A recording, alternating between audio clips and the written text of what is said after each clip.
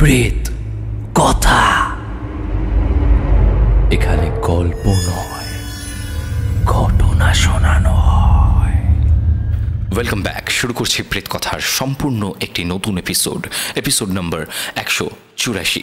আজকের এপিসোডে প্রথম যে ঘটনাটি রয়েছে, সেই ঘটনাটিতে বড় অদ্ভুত একটি বিষয় আছে। আমি একশো ছেষট্টি নম্বর এপিসোডে যখন আমার নিজের সাথে ঘটে যাওয়া ঘটনাটি বলেছিলাম, সেই সময় বোধহয় আমি উল্লেখ করেছিলাম যে অশরীরী বা এই ধরনের নেগেটিভ এনার্জিকে যখন আমরা আহ্বান জানাই আমাদের কাছে, তখন কিন্তু তারা খুব সহজেই আমাদেরকে ধরা দেয়। আহ্বান না জানালে ওরা কিন্তু সহজে আসে না, যেটা আমার ব্যক্তিগতভাবে মনে হয় এবং বিভিন্ন জায়গায় এক্সপার্টসদের কাছে আমি শুনেছি যে নেগেটিভ এনার্জিকে তুমি যদি ডাকো তাহলে ওরা নাকি চলে আসে অনেক সময়। ছোটবেলায় একটা কথা শুনেছিলাম যে তিনবার জিনের নাম উচ্চারণ করলে নাকি জিন চলে আসে। অনেকবার আমি করে দেখার চেষ্টা করেছিলাম ভর দুপুরবেলা, কিন্তু কোনোদিনও কোনো কিছু ফিল করিনি। বা হয়তো সে এসেছিল, কিন্তু আমি অনুভব করতে পারিনি। হয়তো তখন অনেকটা বেশি ইনোসেন্ট ছিলাম বলে, বা হয়তো আমাকে সে দেখা দেবে না বলে ঠিক করেছিল। তো যাই হোক, এইসব কথা বলে আমি বেশি ভয় পাওয়াবো না। আমি একেবারে চলে যাব প্রথম ঘটনায়। তার কারণ ঘটনাটা শুনে আরও অনেক বেশি ভয় লাগবে এই সকল কথার থেকেও। এই ঘটনাটায় একটা আহ্বান আছে। এই ঘটনাটিতে ডাকা হয় কাউকে। তারপর তার দেখা মেলে। বেশি কথা না বাড়িয়ে চলে যাচ্ছি আজকের প্রথম ঘটনায়, যা শুনে গায়ের লোম খাড়া হয়ে উঠবে। শুরু করছি প্রেত কথার একশো চুরাশি নম্বর এপিসোডের প্রথম ঘটনা। শুক্রবার এবং রবিবারের রাত মানেই ভয় পাওয়ার রাত উইথ গৌরব। হ্যালো গৌরবদা, আমি অর্পিতা, হুগলি জেলার সিঙ্গুরের মির্জাপুর গ্রাম থেকে তোমাকে আজ একটি সত্যি ঘটনা লিখতে চলেছি। জানি না ঘটনাটি তোমার সত্যি মনে হবে কিনা, তবুও ঘটনাটি অবশ্যই সত্য। ঘটনাটি বলার আগে আমি তোমাকে কিছু কথা বলতে চাই। আমার এক ছোট্ট ভাইপো আছে। ওর নাম মাখন। বয়স মাত্র আড়াই বছর। আধো আধো কথা বলতে শিখেছে। আমি যখন প্রেত কথা শুনতে বসি, ফোনের ফুল ভলিউম দিলে ও যেখানেই থাকুক ছুটে আসে। ও আমার সাথে বসে প্রেত কথা শোনে। কথাগুলো হয়তো কিছুই বুঝতে পারে না, কিন্তু তোমার কণ্ঠের আওয়াজটা শুনলে ও খুব আনন্দ পায়। তুমি একবার ওকে ব্লেজিং দিয়ে দিও। মাখন এটা তো আমার কাছে একটা ব্লেজিং যে মাখন মাত্র আড়াই বছর ওর বয়স। যদিও মাখন ওর ডাকনাম, ঠিক আছে? আমি ওকে ওর ডাকনাম ধরেই ডাকছি। ওর মতো ছোট বাচ্চা যে কিছু বোঝে না, সে আমার গলা শুনে ছুটে চলে আসে। সে আমার গলা এত পছন্দ করে, আওয়াজ এত পছন্দ করে। এটা তো আমার কাছে একটা আশীর্বাদ। এটা আমার কাছে আশীর্বাদ। আমাকে ভগবান আশীর্বাদ করেছেন এই ধরনের কমপ্লিমেন্টস দিয়ে। আমাকে ভগবান আশীর্বাদ করেছেন এই ধরনের পুচকে যারা আছে, যারা আমায় ভালোবাসে, তাদেরকে পাঠিয়ে আমার জীবনে। মাখন যেন অনেক বড় হয়, ও যেন সকলের জীবনে, ওর নাম যেমন মাখন, ও সকলের জীবনে যেন একদম মাখন ছড়িয়ে দিতে পারে, যাতে প্রত্যেকের জীবন ইজি হয়ে যায় অনেক। কারণ মাখন তৈলাক্ত জিনিস ইজি করে দেবে সবার জীবনকেও। তো ভালোবাসা রইল মাখনের জন্য, ওর পিতার জন্য অনেক ভালোবাসা রইল এবং ওর পিতার গোটা পরিবারের জন্য। গৌরবের তরফ থেকে, অনেক অনেক ভালোবাসা প্রেত কথা পরিবারের সকলের তরফ থেকে, অনেক ভালোবাসা, প্রণাম, শ্রদ্ধা। আজ যে ঘটনাটি আমি বলতে চলেছি, সেটি আমি আমার বড় মাসির কাছে শুনেছি। মাসির বাড়ির কাছেই ঘটনাটি ঘটেছিল। ঘটনাটি যেখানে ঘটেছিল, সেখানের বর্ণনা না দিলে হয়তো শুনতে ভালো লাগবে না। প্রাইভেসির জন্য জায়গাটার নাম বলছি না। আমার মাসির বাড়ি থেকে দু মিনিট মতো হেঁটে গেলে একটা বড় বাঁধ পড়ে। সেই বাঁধে শুধুই বড় বড় গাছপালা। মাঝখান দিয়ে চওড়া কাঁচা ইটের রাস্তা চলে গেছে অনেকটা দূর পর্যন্ত আর দুই ধারে বড় ও ধসা তাল গাছ এবং মাঝে মাঝে দুটো একটা বট গাছ বিদ্যমান। বাচ্চা ছেলেমেয়েরা মারা গেলে ওই বাঁধেই তাদের পোঁতা হতো। বাঁধের ওই জায়গাটাকে সবাই ছেলে পোঁতা বলতো। এবার মূল ঘটনায় ফিরছি। একদিন জ্যৈষ্ঠ মাসের ভর দুপুরে পাড়ার কিছু ছোট ছেলেরা মিলে লুকিয়ে লুকিয়ে তালের শ্বাস খেতে যায় সেই বাঁধে। তাদের সবারই বয়স কম। লুকিয়ে যাওয়ার কারণ একটাই যে, জায়গাটা ভালো নয়, তাই বাড়িতে জানালে কিছুতেই বাড়ির লোক ওদেরকে যেতে দেবে না, তার উপর আবার ভর দুপুরবেলা। তালের শ্বাস খাওয়ার লোভ তাদের এতটাই ছিল যে তারা বাড়িতে কাউকে না জানিয়ে লুকিয়ে চলে যায়। বাঁধের ধারে ছোট ছোট ধসা তাল গাছগুলোতে উঠে কিছু তাল পেরে তাল গাছের তলার ছাওয়াতে বসে তারা সবাই তালগুলো কাটতে শুরু করে। কাটা হয়ে গেলে সব তালগুলো সবাই সমান ভাগে ভাগ করে দেখে একটা তাল বেশি পড়ে আছে। তখনই তাদের মাথায় একটা দুষ্টু বুদ্ধি উপস্থিত হয়। ঘটনাটা এক সপ্তাহ আগে ঘটে। তাদের পাড়ার এক ছেলে মারা যায়। তার নাম কিঙ্কর। ছেলেটা ওদেরই সমবয়সী ছিল। একসাথেই থাকতো এবং ওদের সাথেই খেলা করত। সে নাকি তালের শ্বাস খেতে ভীষণ পছন্দ করত। ছেলেগুলো যেখানে বসেছিল, তার থেকে চার কি পাঁচ হাত ব্যবধানে পোতা হয়েছিল তাকে। ছেলেগুলো সামনাসামনি বসেই তালের শ্বাস খাচ্ছিল। সেই দলের মধ্যে থাকা একটা ছেলে পড়ে থাকা অবশিষ্ট তালটিকে হাতে তুলে নিয়ে হঠাৎ করে বলে ওঠে এ কিঙ্কর তাল খাবি আয় এ কিঙ্কর তাল খাবি আয়। দেখ, তোর পছন্দের তালের শ্বাসগুলো কত মিষ্টি খেতে হয়েছে। আয়, এই একটা তাল খেয়ে যা। ওই ছেলেটার কথা শুনে বাদবাকি যারা ছিল, তারা সবাই হো হো করে হেসে ওঠে। বলে, আরে, এ তো মরেই গেছে। ও মরে গিয়েও তাল খেতে আসবে? এবং সবাই মিলে ব্যঙ্গ করে বলতে থাকে, আয়, কিঙ্কর, তাল খা, আয়। আয়, কিঙ্কর, তাল খা। এক বন্ধু বলে, ধর, হঠাৎ করে কিঙ্কর এলো। ধর হঠাৎ করে কিঙ্কর উঠে এলো ওখান থেকে। বন্ধু বান্ধবদের মধ্যে মজা ঠাট্টা চলতে থাকে। এরকম কিছুক্ষণ ধরে সবার মধ্যে কথাবার্তা হওয়ার পর, মজা ঠাট্টা হওয়ার পর, ওরা যখন এই বিষয়টার থেকে বাইরে বেরিয়ে এসছে এবং নিজেদের মধ্যে বিভিন্ন গল্প করতে করতে তালের শ্বাস খাচ্ছে, ঠিক ওই সময় ওদের মধ্যে একজন কথা বলতে গিয়ে থম মেরে যায়। বাকিরা ওকে দেখে বলে, কি হলো? কি হয়েছে? ও মানে যে থম মেরে যায়, সে আঙুল তুলে কিছু একটা দেখানোর চেষ্টা করে। ওর আঙুল যেদিকে লক্ষ্য করে আছে, সেই দিকে সবাই যখন তাকায়, তারা দেখতে পায়, কবরের ওপর মৃত কিঙ্কর বাবু হয়ে বসে আছে।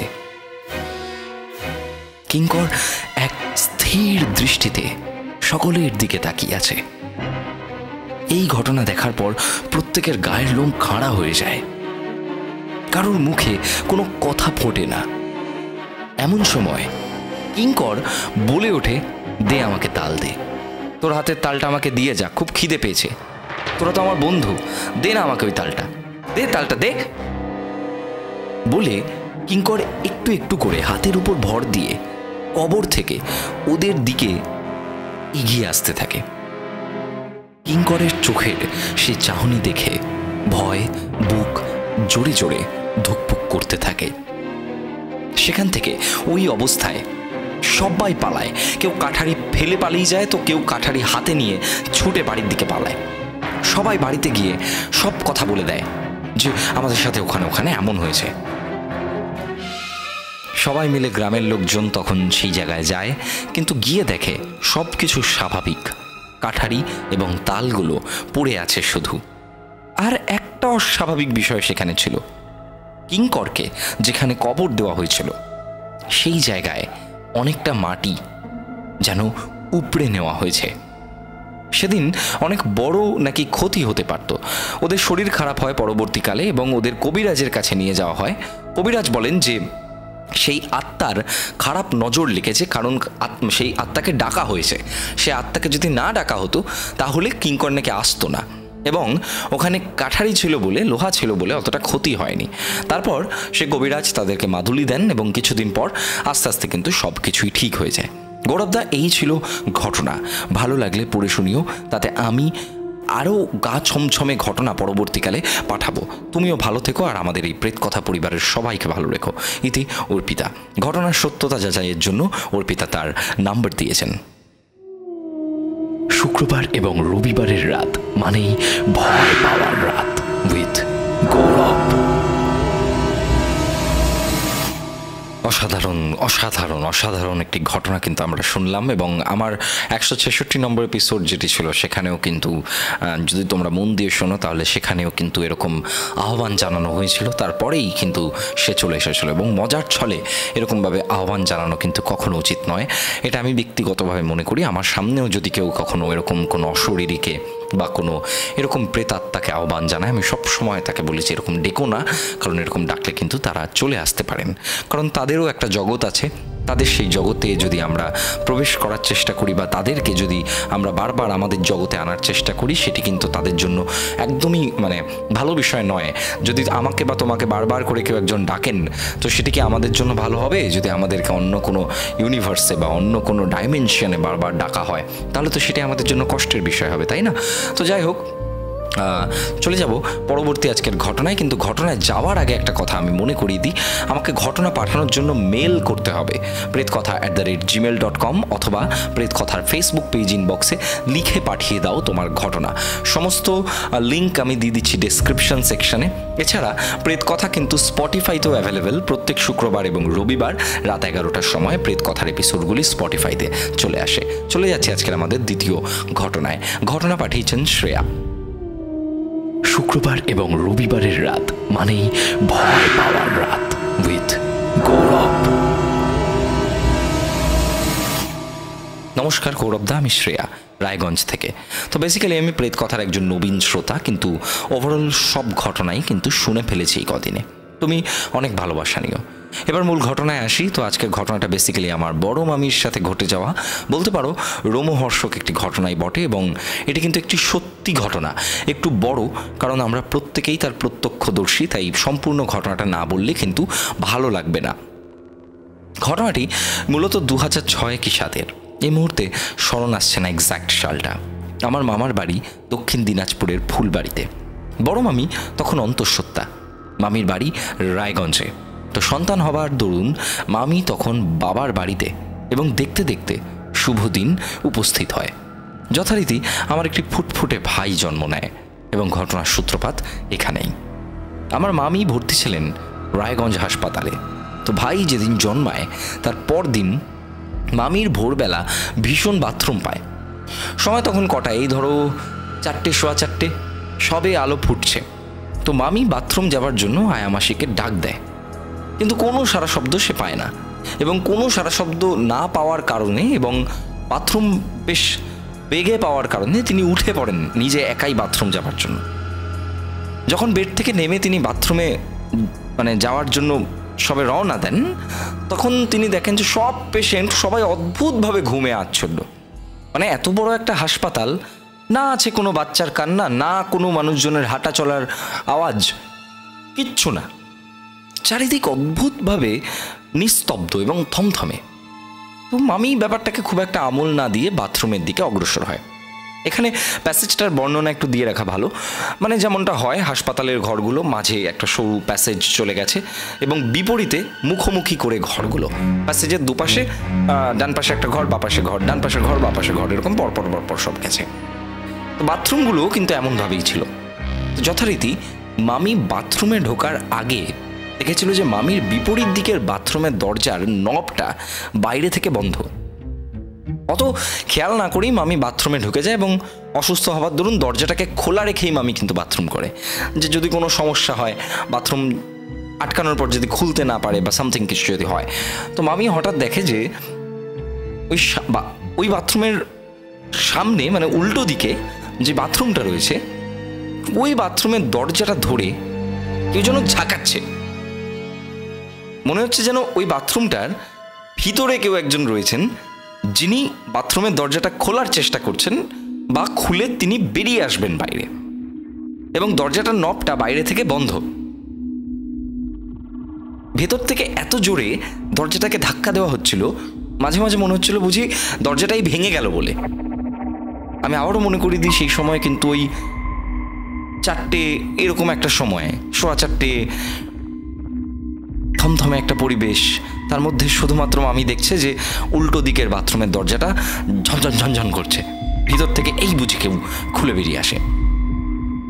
এইসব দেখার পর মামির শরীরটা কেমন ভারী হয়ে যায়। মামি খালি ভাবছিল যে কেউ হয়তো বেরিয়ে আসবে। নিজে বাথরুম করতে করতে মামি ওই দরজার দিকে তাকিয়ে থাকে যে এই বুঝি কেউ বেরোলো।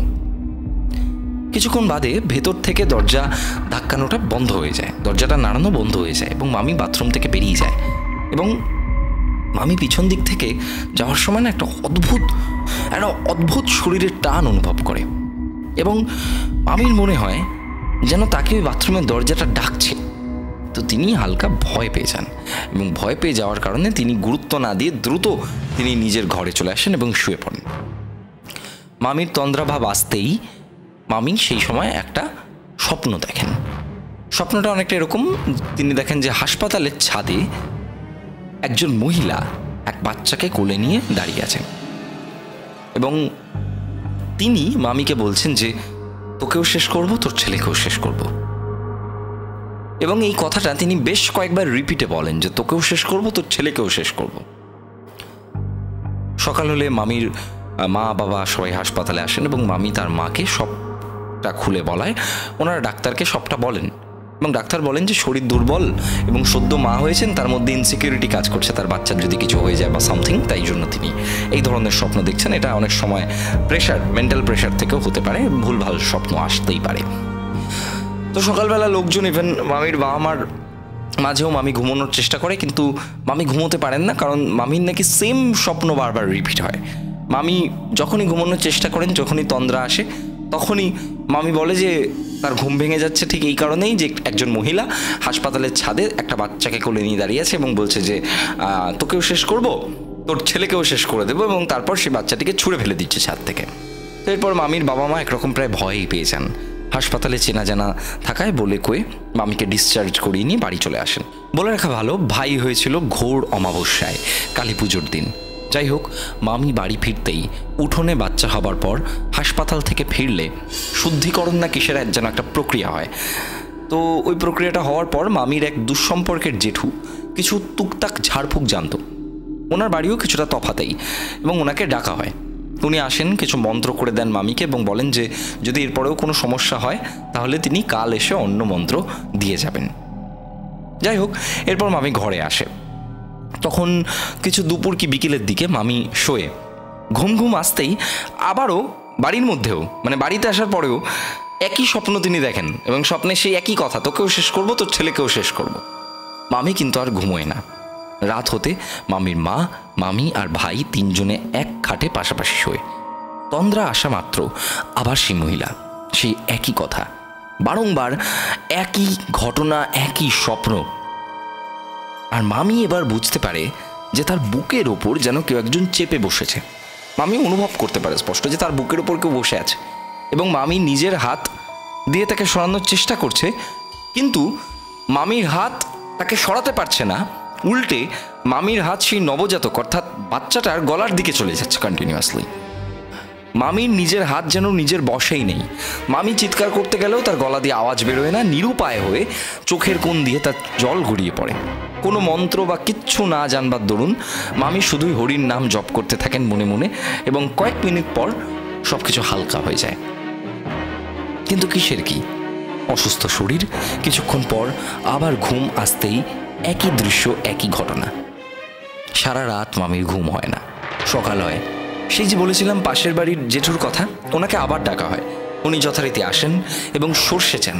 সেই সর্ষে হাতে নিয়ে কিছু মন্ত্র পাঠ করতে যাবেন, অমনি একজন এসে খবর দেন যে জেঠুর নাকি দাদা মারা গেছে হঠাৎ করে তো বাড়ির সকলে শুনে হতবাক, যেমন সুস্থ সবল দাদা। আসবার আগেও যিনি হেঁটে চলে বেড়াচ্ছিলেন, তিনি কি করে মারা গেলেন? তো যাই হোক, অসুচ পড়ে যাওয়ার কারণে সেই জেঠু কিন্তু আর ঝাড়ফুঁক করতে পারলেন না এবং হাতের সর্ষেগুলো ফেলে বাড়ির পথে রওনা হলেন দাদা শেষকৃত্য করতে। বাড়ির লোকে তখন বেশ ঘাবড়ে গেছেন।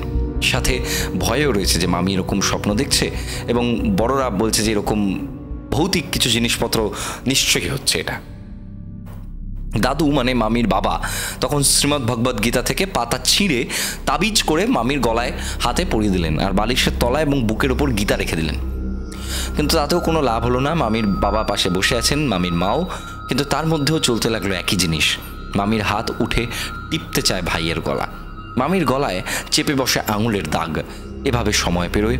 রাতের দিকে কে বেশ একজন প্রতিবেশী এসে দাদুকে খোঁজ দেন এক মৌলবীর তার নাকি অগাধ ক্ষমতা এবং সেই মৌলবী নাকি ভীষণ শক্তিশালী।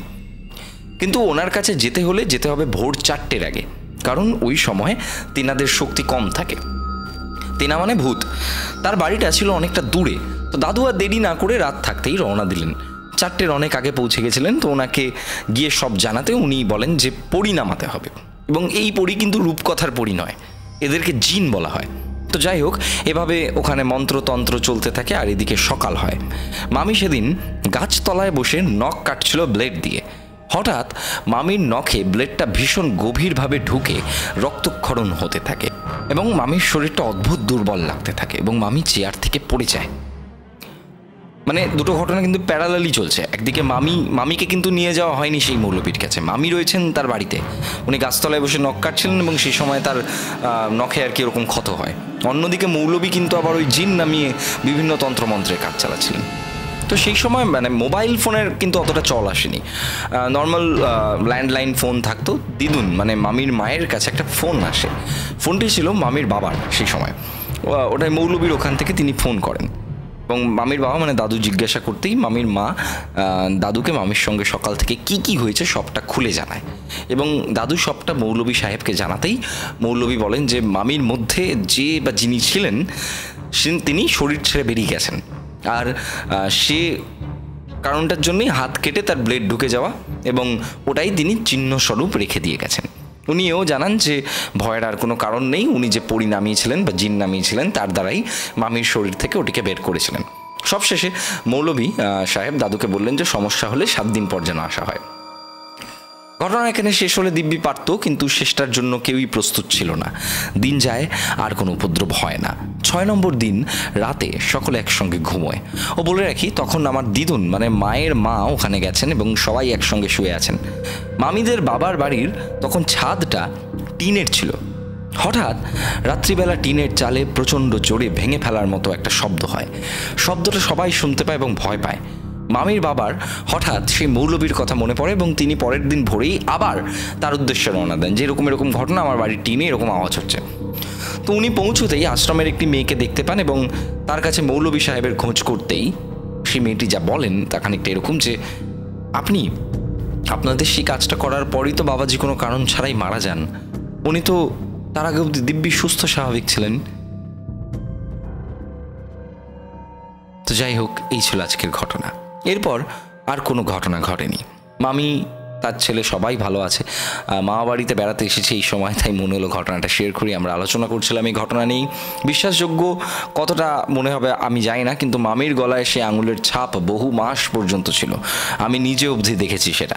আর সেই ব্লেড বসে গিয়ে আঙুলে দাগ, ওটা এখনও রয়েছে। ভালো থেকো গৌরবদা। তোমার চ্যানেল অনেক বড় হোক, শুভেচ্ছা, ভালোবাসা। কাকু কাকিমাকে প্রণাম। অসাধারণ দুটি ঘটনা কিন্তু আমরা শুনে নিলাম। দ্বিতীয় যে ঘটনাটি, এটি বেশ প্যাথেটিক একটি ঘটনা, কারণ এখানে দুজনের প্রাণ বলি যায় একজন মানুষকে বাঁচানোর জন্য এবং শুধু একজন নয় অ্যাকচুয়ালি দুজন মানুষকে বাঁচানোর জন্য, বাচ্চাটি এবং মামি। কিন্তু কি বলব? এক্সপ্লেন করার মতো কোনো ঘটনা নয়। কোনো এক্সপ্লেনেশন আমার কাছে নেই এই মুহূর্তে, কিন্তু যিনি ঘটনা পাঠাচ্ছেন, যিনি ঘটনা বলছেন, তিনি মিথ্যে ঘটনা তো বলবেন না। এরকম বহু ঘটনা কিন্তু আশেপাশে আমরা শুনতে পাই এবং যেখানে তিনি বলছেন যে এখনও পর্যন্ত দাগ রয়েছে এবং সমস্ত কিছু এবং ওনার গোটা ফ্যামিলি এটি ফেস করেছেন। তো বহু ঘটনা এমন থাকে যে ঘটনাগুলি কিন্তু আমরা শুনলেই বুঝতে পারি যে হ্যাঁ মানে নিজের ফ্যামিলিকে নিয়ে তো কেউ ডেফিনেটলি মিথ্যা কথা বলবেন না। এবং সেখানে ঘটনা তো সত্যি হতে বাধ্য। কিন্তু আমরা কখনো বলি না যে ঘটনাকে একদম সত্যি বলে বিশ্বাস করতে হবে। সম্পূর্ণটাই তোমাদের উপর ঘটনাকে বিশ্বাস করো আর না করো, সম্পূর্ণটা তোমাদের উপর কখনো কোনো প্রেশার নেই যে এই ধরনের ভূত ফুতকে বিশ্বাস করতে হবে। এন্টারটেনমেন্ট হিসেবে শোনো, সেটাই হবে বেস্ট আমাদের কাজ শুধুমাত্র বিভিন্ন মানুষের জীবনে ঘটে যাওয়া, বিভিন্ন অলৌকিক ঘটনাকে সকলের সামনে তুলে ধরা, যেগুলো ন্যাচারালি লোক প্রচলিত। আমরা সব সময় শুনি একে অপরের মুখে, সেই ঘটনাগুলি সুন্দর করে উপস্থাপন করা। কমেন্ট করেছিলেন আগের দিনের এপিসোডে রীতা মুখার্জি। কমেন্ট করেছেন শুভম পাল উত্তম কর্মকার। আমাদের মধ্যে রয়েছেন পূর্ণিমা বৈরাগ্য। আহ, আজকের দুটি ঘটনা বেশ ভালো লেগেছিল তবে প্রথম ঘটনাটা ভয়ের থেকে বেশি সুন্দর ছিল। প্রত্যুষা বিশ্বাস আমাদের মধ্যে রয়েছেন রূপালী ধারা।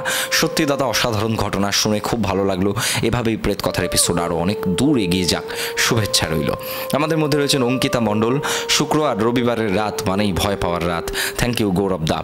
করুণা দাস লিখেছেন, অসাধারণ আজকের ঘটনা, দারুণ ছিল। আবারও অপেক্ষায় থাকব দাদা শুক্রবারের জন্য। চলে এসেছে আজকে শুক্রবার। আজকেও কমেন্ট করো। যাদের যাদের কমেন্ট প্রথমে চোখে পড়বে বা যাদের যাদের কমেন্টগুলো আসবে প্রথমেই, তাদের কমেন্টগুলো অবশ্যই পড়ে শোনানো হবে, নামগুলো অবশ্যই পড়ে শোনানো হবে। আপাতত আমি পড়ছি একশো তিরাশি নম্বর এপিসোডের কমেন্ট কিছু। রিয়া চক্রবর্তী কমেন্ট করেছেন, অস্মিতা দে মৌসম সাহানা আমাদের মধ্যে রয়েছেন শ্যাম ধর, ত্রিনাথ ভট্টাচার্য, দাদা পুরীর ঘটনা আরও চাই প্লিজ খুব ভালো হয়েছে দুটো ঘটনা। আমাদের মধ্যে রয়েছেন কিন্তু বিদিশা দাস চৈত্র মাস চৈত্র মাস মানে বাবার বাড়ি যাওয়ার মাস, তাই আজ বাবার বাড়ি যাচ্ছি, একসাথে প্রেত কথা শুনছি, খুব ভালো লাগছে কমেন্ট করেছেন রিমা কুন্ডু আমাদের মধ্যে রয়েছেন দীপ নারায়ণ ব্যানার্জি, প্রিয় দাদা, প্রথম দিন থেকে তোমার গলায় ভৌতিক ঘটনা শুনে আসছি, সবগুলোই অনবদ্য এবং তোমার গলার প্রশংসা যতই করব কম করা হবে, নিয়মিত কমেন্ট করা হয় না, তার জন্য দুঃখিত। আর ঘটনাটা একদম অন্য মাত্রায় লাগতো, লাগল। ভালো থেকো, ভালোবাসা নিয়েও প্রেত কথার জন্য শুভকামনা রইল। আমাদের মধ্যে রয়েছেন রাইডার বয় সুব্রত, চন্দন বর্মন। আমাদের মধ্যে রয়েছেন সঙ্গীতা ড্রিমল্যান্ড আমাদের মধ্যে রয়েছেন রাখি শর্মা পাগলির পাগল। অদ্ভুত একটি নাম এটি, লীনা দাস। আমাদের মধ্যে রয়েছেন Deep. At nineteen point fifty four minute B লাইক ঝিরিঝিরি জল পড়াচ্ছে। বাইদ গৌরব দাল আচ্ছা। ও আচ্ছা আচ্ছা। সাউন্ড এফেক্টের প্রশংসা করেছে ও একরকমের। আমাদের মধ্যে রয়েছে অচিন্ত মণ্ডল, বিকাশ দাস ভ্লগ আমাদের মধ্যে রয়েছে পিন্টু ওঝা, তৃপ্তি চৌধুরী, আমাদের মধ্যে রয়েছেন মৃন্ময়ী সামন্ত দীপিকা বাগ, আমাদের মধ্যে রয়েছে সুমনা সর্দার, পূজা চক্রবর্তী, সহেলি দাস, শিখা দাস, আমাদের মধ্যে রয়েছেন অমিয় প্রামাণিক সেকেন্ড ঘটনাটা বেশ ভালো ছিল আর ভয়ের ছিল, দাদা। আমি রেগুলার শুনি কমেন্ট করা হয়ে ওঠে না। আমার বাড়ি উলুবেরিয়াতে আবার যখন উলুবেরিয়া আসবে জানাবে, দাদা টেক লাভ আমাদের মধ্যে রয়েছেন পৌশালী দত্ত, চলে এলাম, দাদা অ্যাসাইনমেন্টের পেপার আর পেন নিয়ে তোমার ভয়েসের স্টোরি শুনতে। গ্রেট গ্রেট এরকম এরকম অনেক কমেন্ট কিন্তু আমাদের মধ্যে রয়েছে। তো যাই হোক, অনিন্দিতা কমেন্ট করেছে আজকে সেকেন্ড স্টোরি অসম বাট খুব ভয়ের নিউ সাবস্ক্রাইবার তোমার ভয়েসে ঘটনা রিয়েলিস্টিক লাগে। থ্যাঙ্কস থ্যাঙ্কস লট প্রত্যেককে অসংখ্য ধন্যবাদ জানাচ্ছি আমাদের প্রেত কথার পাশে।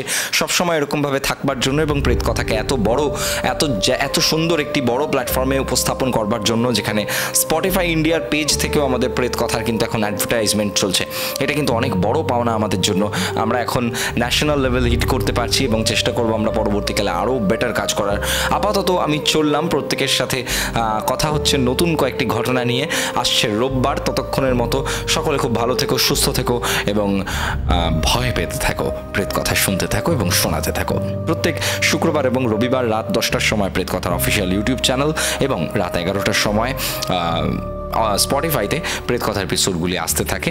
এখানে গল্প নয়, ঘটনা শোনানো হয়।